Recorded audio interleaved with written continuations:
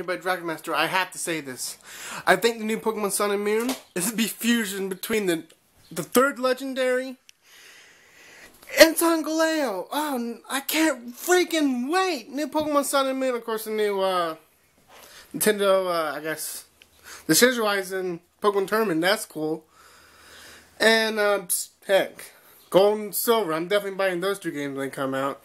But this is my theory. There's going to be a new fusion between the third legendary, I can't remember his name right now, and that's what I think. Hopefully that's that I'm right. It's either fusion or they combine somehow. So as soon as I can, I'm freaking posting this. Dragon Master out.